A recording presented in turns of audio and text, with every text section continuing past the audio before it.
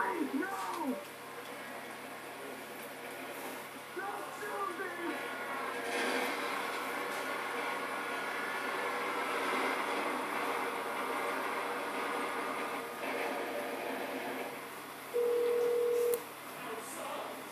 Jock, we've been worried sick.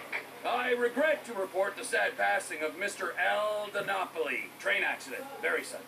I loved that man. We will remember him always. The way he was on TV before we met him. Not that any of us met him, of course. You two enjoy the rest of your vacation.